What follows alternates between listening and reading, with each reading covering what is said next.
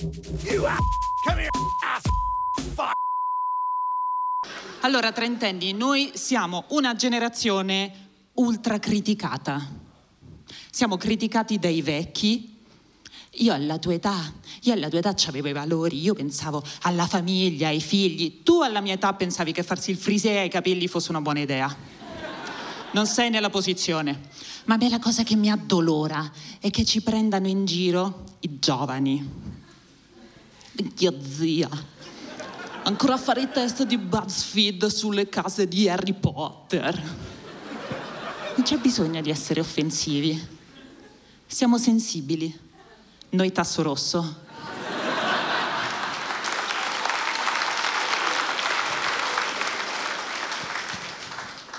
Fanno questi video per prenderci in giro da 15 secondi, 30 secondi, anche un minuto. È straordinario che riusciate a stare concentrati così a lungo in cui ci prendono in giro dicendo che non siamo diventati abbastanza adulti, non sappiamo cavarcela e la cosa triste è che hanno ragione. I nostri coetanei all'estero hanno figli che vanno alle medie. Noi riviviamo le nostre scuole medie di continuo, di continuo, un concerto di Cristina D'Avena alla volta.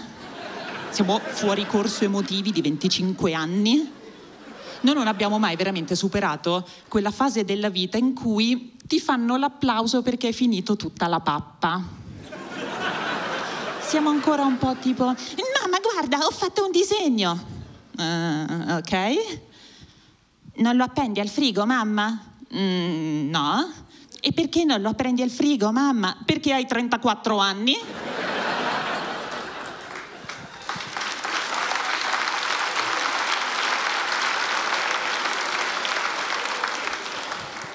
E questo atteggiamento è pervasivo e se pensate che non vi riguardi, in realtà vi riguarda. Facciamo un test. Quante di voi, urlate, si offendono se vengono chiamate signora?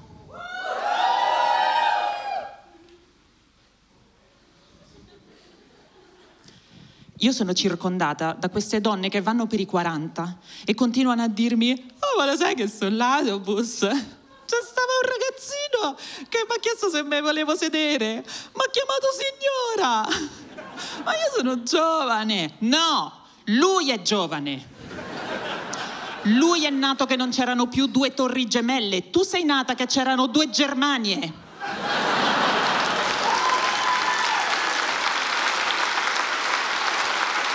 La percepisci la differenza? Non è totalmente colpa nostra, è che noi siamo degli adulti a basso budget. La- il- lo, stru- lo strumento, il mezzo di trasporto simbolo della generazione dei nostri genitori era qualunque automobile con turbo nel nome. Il mezzo di trasporto simbolo della mia generazione è un monopattino che noleggiamo le case dei nostri genitori erano strapiene di oggetti, adesso le case dei ricchi sono minimaliste, sono vuote. Se tu prendi la casa di un trentenne che ce l'ha fatta e la casa di un contadino lucano degli anni 50, sono uguali, solo che il primo c'è il cuore di Seletti sul tavolo. Ma per il resto sono, eh, sono identiche. Cioè noi siamo una generazione e diciamo siamo poveri come la merda, ragazzi. Mm? Quindi noi di tutto il panorama eh, case libriato viaggi fogli di giornale dovevamo un po' scegliere e abbiamo deciso di diventare la generazione dell'esperienza. E qual è l'esperienza? Qual è la cosa che se prendi una qualunque ragazza sopra i 25 anni e le chiedi "Mm, cosa faresti se avessi tempo e soldi infinito? Ti risponde al mio tre viaggi.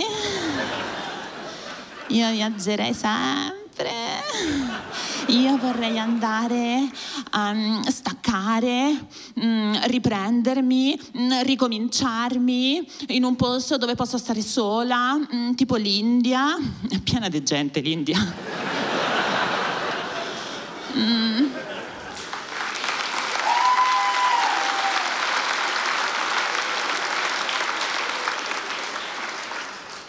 che schifo le cose. Non le voglio le cose. A cosa ti servono le cose quando hai il tuo iPhone 13, il tuo MacBook Pro e il tuo caravan con cui puoi pubblicare il tuo podcast facendo il nomade digitale? Eh? A cosa ti servono le cose? Quando puoi avere l'affetto di Loki, un bernese di 50 kg che ti mangia un chilo e mezzo di macinato al giorno e caga altrettanto? Non voglio cose, voglio good vibes. E con questo principio sono nati i blogger di viaggi, cioè persone il cui 90% della personalità è determinata dal fatto che non vorrebbero mai essere qui. E che poi ti scrivono, "Mm, io non sono un turista, sono un viaggiatore. Italian model è la bandiera dell'Irlanda. Io, io ho un sogno. I have a sogno. Io vorrei che tutti gli uomini avessero la figa per un giorno. La propria però, non quella di qualcun altro, eh. E, e la figa, eh, non le tette, no? Perché tu dici a un uomo, mettiti nei miei panni e loro subito si immaginano questa sesta di reggiseno che sta su da sola, no? Oh, con un bottiglione da tre litri di olio Johnson, oh, glo, glo, glo, glo, glo. Wow! una alla volta, oh, glo, glo, glo, glo. Eh, eh, eh. Ticchi, ticchi, ticchi, ticchi, ticchi, ticchi. Ah. No, no. Dagli una figa tutta sua da gestire, poi ne riparliamo. Come ti chiami? Luigi? Piacerebbe avere una figa? Sarebbe subito lì a misurarsi il clitoride. Tutto sudato, Luigi, con gli occhiali, perché comunque stiamo parlando di millimetri. Uh, quanto tu Franco e io aspetta, 0,6 te, ma io eh, 0,5. Ah, grande Luigi. E l'igiene intima? Gente abituata a farsi il bidet solo se cade di culo nella pozzanghera, che all'improvviso si trova a gestire questo organo in cui i batteri non crescono fuori ma crescono dentro. Eh? Ma tu ti immagini queste nuove malattie che proliferano nel mondo? Eh? Queste, questi ceppi nuovi, queste colture batteriche sconfinate. Eh? Strawberry fields forever. Ma non quella dei Beatles. E poi quando una volta al mese arriva planando il barone rosso, Luigi, io ti vedo a terra, morto, alla vista del sangue e del prezzo degli assorbenti. Che poi...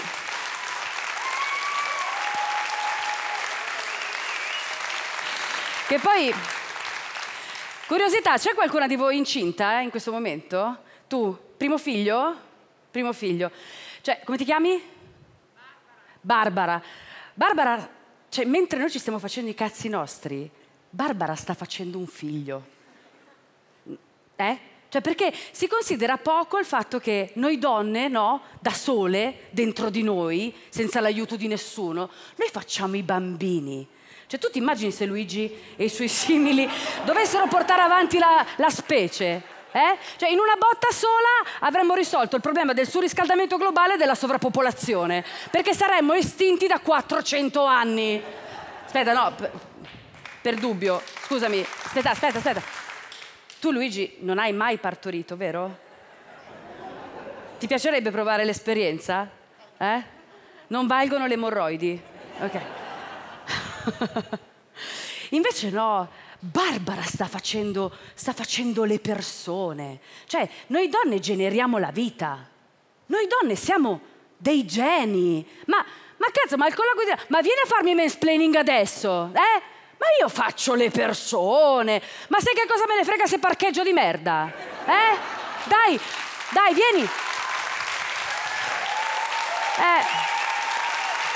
Cioè, vieni a sbraitare, no? Perché ti vedo con il tuo clacson esaurito perché mi sto prendendo troppo tempo per entrare nel parcheggio AS con una Twingo. Che cazzo vuoi? Se mi rompi i coglioni io faccio una persona che parcheggia al posto mio.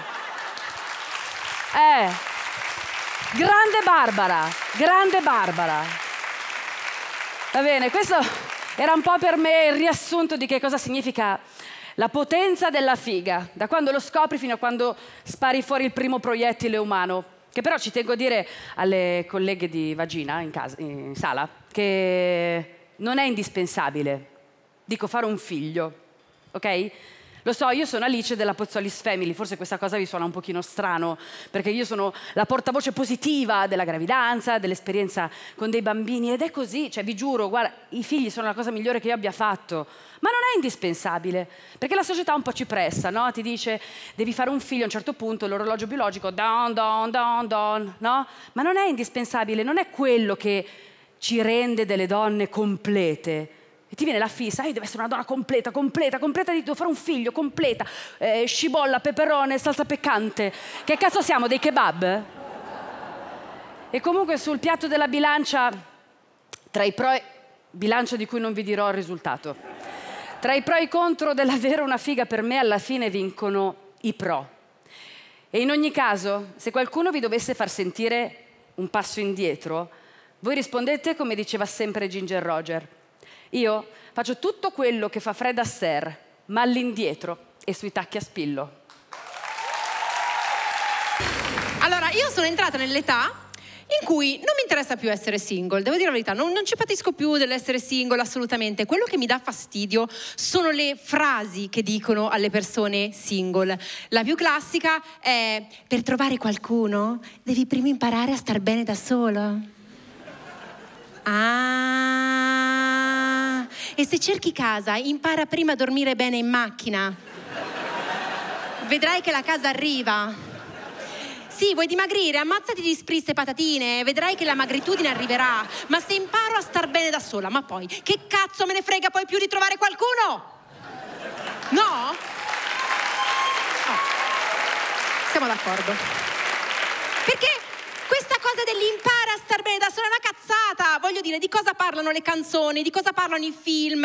Di gente che si innamora, di gente che si lascia, di gente che si tradisce. Io non ho mai avuto un'amica eh, che è venuta da me e mi ha detto eh, guarda, ho visto un film bellissimo, un film da Oscar, cioè ha vinto non so quanti premi, ho ancora i brividi da ieri sera, cioè un film che parla di una che sta bene da sola. Che, che figata! Sì, ma succederà qualcosa in questo cazzo di film? Che ne so, eh, ci sarà un cattivo in questo film? Ah, ah, sì, sì, sì, sì, c'è un cattivo, cattivo, cattivissimo. Però anche lui sta bene da solo. Quindi non si incontrano mai. Ma che film di merda è, voglio dire? Un film in cui questi la mattina si alzano, bevono il tè verde, eh, poi fanno un po' di movimento, eh, mangiano cereali senza zucchero, a pranzo vanno in palestra e la sera prendono l'aperitivo con le amiche. Cioè, essere single è un film francese lentissimo sottotitolato in coreano, cazzo. Fa schifo. E... E siamo tantissime così, siamo tantissime perché diciamoci la verità, ormai trovare un uomo etero a Milano te lo devi far mandare col pacco da giù, che non a caso si chiama pacco da giù. Noi in Puglia andiamo a fare turismo sessuale, noi milanesi. No? Il vantaggio è che alla mia età però eh, non mi dicono più quelle frasi del tipo ah sei single? Ah Ormai mi dicono, ah, sei single? Ah. E la conversazione, capito, finisce lì praticamente. E l'altro vantaggio dell'essere single, eh, alla mia età almeno, è che esci con una fascia di persone piuttosto ampia, più o meno fra i 30 e i 50. Io esco con persone, insomma, eh, no, sono quasi padri e figli, più che un'orgia, un family day, capito? Io esco con, con, con, con gente così e è pazzesco perché sono 30 e 50 prima e dopo il porno di massa, praticamente. E vedi la differenza. Cioè, ci sono alcuni ragazzi giovani qua e alcune ragazze giovani. Cioè, uscire con i trentenni è un incubo. Io ci ho provato, è un incubo. Perché cioè, devono sempre appenderti da qualche parte. Io no, non lo so, sono uscita con uno tipo otto mesi fa, carino, educato, abbiamo preso l'aperitivo insieme, eh, saliamo in, casa sua, iniziamo a baciarci, era normale fino a un secondo prima, iniziamo a baciarci e lui parte con oh yes baby, oh come on baby, oh yes, oh yes baby. Che cazzo è un corso di inglese? Livello B2. The beach is on the table.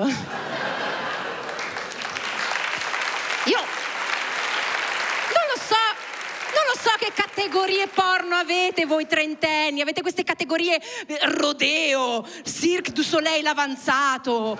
I cinquantenni no, ve lo giuro, i cinquantenni sono rilassati. I cinquantenni quando ci fai sesso ti danno del voi.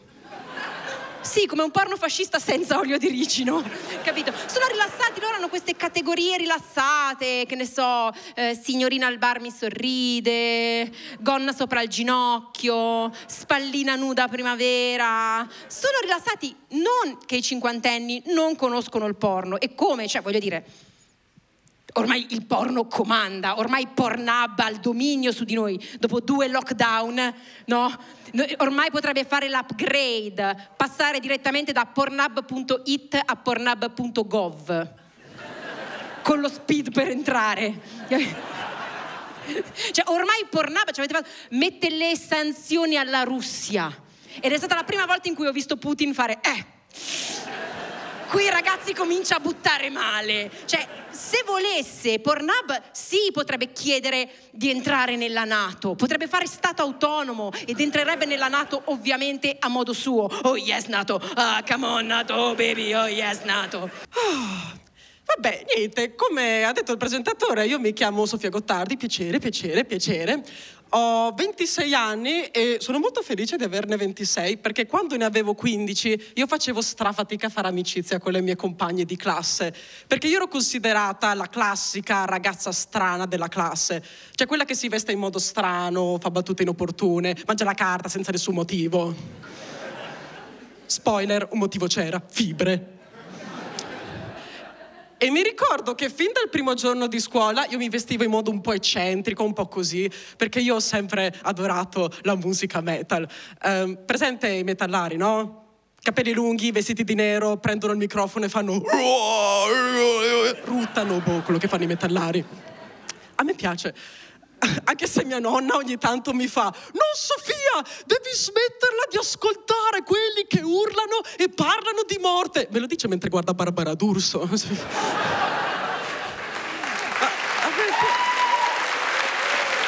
Ragazzi, io non lo so, cioè, Devo dire che per il mio stile aggressivo molti potevano pensare che io fossi una strong d'acciaio, però in realtà sono sempre stata molto insicura e passavo le giornate a leggere libri fantasy e a immaginarmi di essere creature fantastiche. Cioè mi immaginavo di essere tipo una vampira, una fata, Fedez.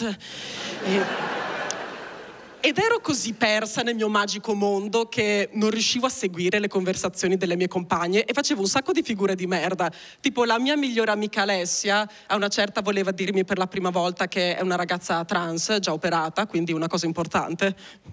Solo che io ero così cogliona che non mi ero mai resa conto prima che lei fosse trans e lei si vergognava a dirmelo, quindi la conversazione è andata così. Sofia, um, volevo dirti che tu mi conosci come Alessia, però da bambina mi chiamavo Alfio. Cioè, capisci perché? Beh, certo, ma Alfio è un nome orribile da dare a una bambina, anch'io avrei scelto Alessia. No! No, Sofia, sono trans, cretina. Scusa, ma come fai a non capirlo? Sono alta e ho la voce bassa. Così ho capito che non solo non so riconoscere le donne trans, ma potrei essere una di loro.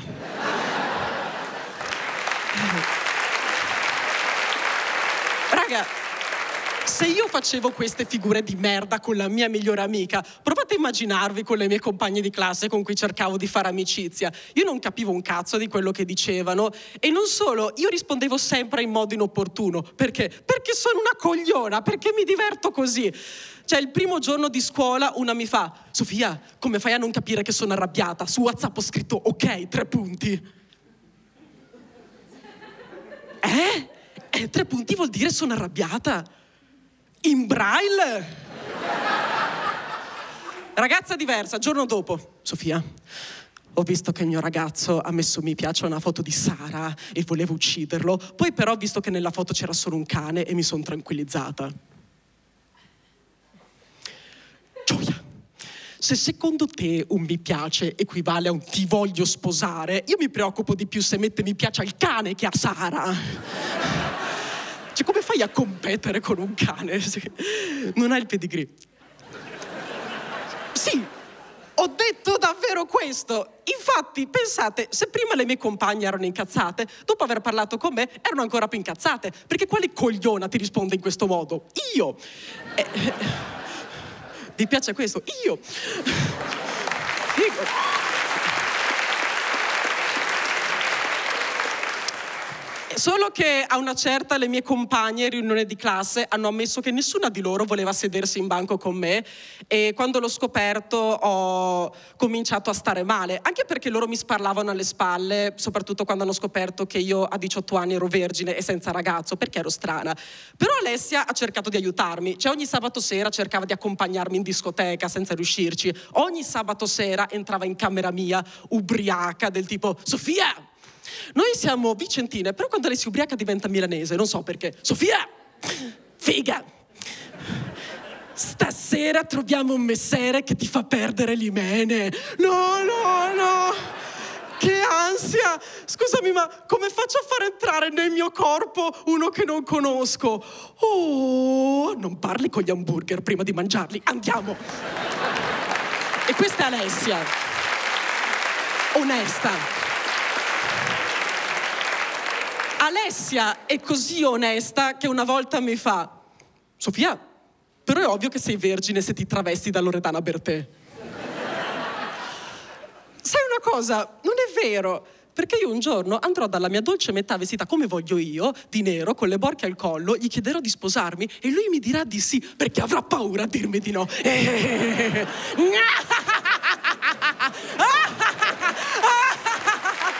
Chissà perché ero vergine, no? Qual è il problema della borghesia? È un problema che ci riguarda tutti. Pensiamo tutti allo stesso modo. È un po' questo il problema. Ci stanno accusando di questo, c'è un pensiero unico di cui nessuno parla. Eppure c'è. Si pensa tutti allo stesso modo perché così è bene. Non esistono bambini brutti? Ma dobbiamo trovare il coraggio di dirlo, ne parleremo, dobbiamo trovare il coraggio di dire ma signora,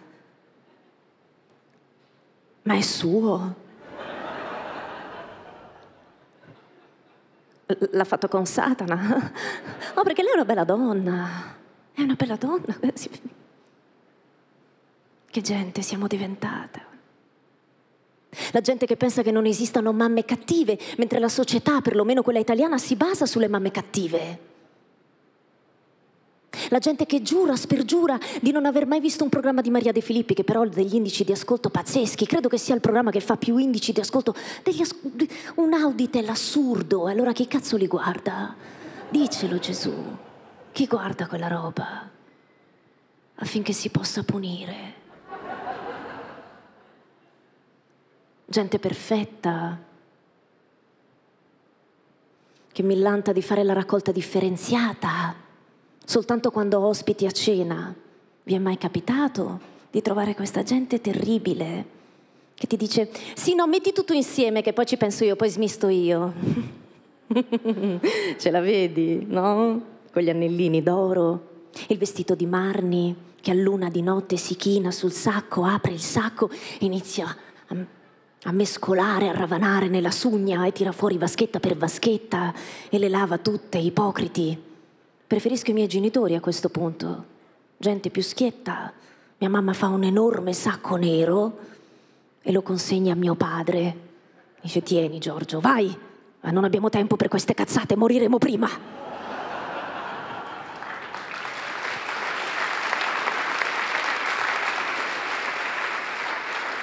E mio padre va, come i nani di Biancaneve, al giardinetto a mettere il sacco nero nel bidoncino del parco che è largo così, lo infila, inizia a luna di notte, così nel frattempo scrocca le sigarette ai tossici perché lui non può fumare in casa. E allora va fuori con questa scusa. Che gente che siamo diventata. Gente che si professa vegana e poi va col passamontagna e la macchina della madre al McDrive di notte e mi dà due cheeseburger brutte persone, gente che millanta di non mettersi le dita nel naso. Questa cosa io non la... Abbiamo un naso, a cosa servirà oltre che a respirare? Bisognerà pulirlo. Non sopporto quelli che se lo puliscono. co- Vabbè, eh, è una cosa che veramente non tollero. Ma non tollero ancora di più che tu mi dica che non te le sei mai messe le dita nel naso. Io le dita nel naso, stai scherzando? Ma sei sicuro? Neanche in un viaggio fai conto di 7-8 ore, sei da solo in macchina. Cosa fai dopo che hai ascoltato la musica, hai mangiato le mandorle tostate? Per carità, mangiale prima. No. No, no. Io le dita nel naso mai, ma sei sicuro? Guarda che controllo sotto al sedile della macchina. Vai, controlla pure, controlla pure. Guarda che ho la torcia, quella delle iene, sai questi laser che vedono i liquidi. Vai, controlla pure. Vai a vedere là sotto. E c'è la stessa conformazione rocciosa delle grotte di Castellana.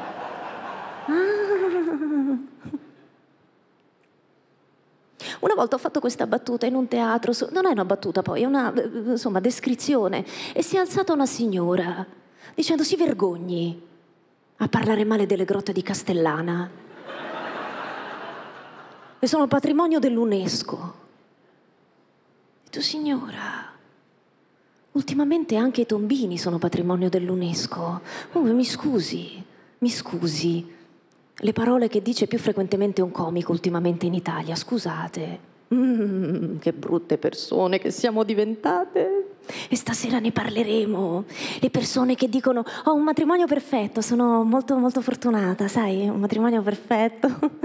E nel frattempo si tengono stretto stretto lo smartphone in tasca.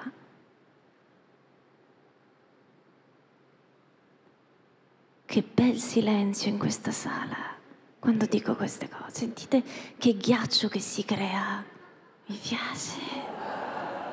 Invece nella mia generazione, diciamo, la questione ambientale è diventata una cosa un po' fighetta, è una cosa un po' cool, cioè è una cosa che fa figo un po' essere attenti alla questione ambientale. E io mi ricordo che 15 anni fa bullizzavo mia sorella perché non faceva la raccolta differenziata, l'anno dopo vado a casa, si era comprata i secchi differenziati di design, capito?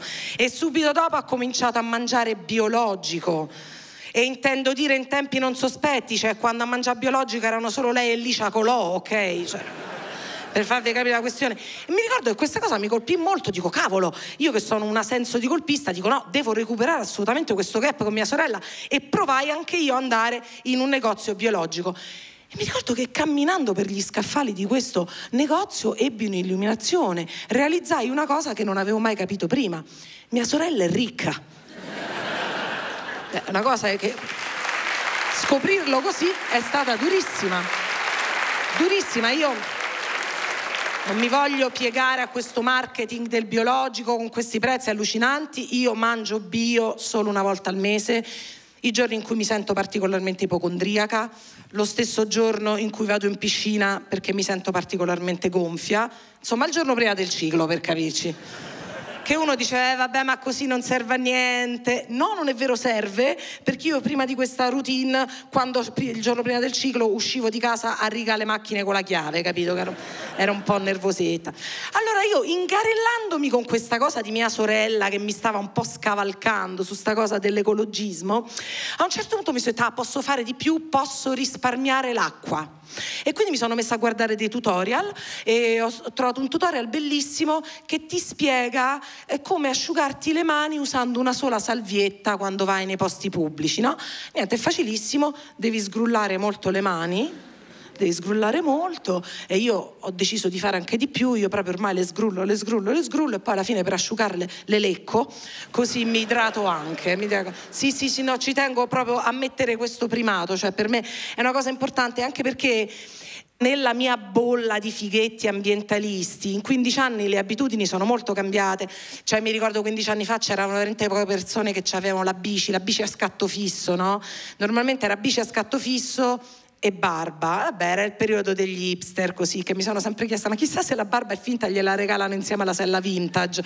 Perché no, era strana questa coincidenza. E insomma mi ricordo i miei amici che andavano alla Critical Mass no? una volta al mese io gli dicevo sempre guarda cioè pensare di essere ecologista perché vai in bicicletta una volta al mese è come pensare di avercelo grosso perché c'hai le mutande strette cioè non funziona così dai non funziona così. E quindi Invece purtroppo devo notare che adesso tutti i miei amici vanno al lavoro in bicicletta, la usano tantissimo e a me questa cosa mi fa rosicare da morire, proprio una cosa mi fa impazzire perché io invece ho paura di andare in bicicletta in città. E quando ho scoperto questa cosa che stavo rimanendo indietro nella figaggine ambientalista, ho proprio rosicato, ho avuto un momento di rabbia e ho commesso un gesto estremo ho buttato lo smalto nel compost, cioè proprio perché no, non ce la facevo più, mi sono dovuta sfogare, mi sono dovuta sfogare.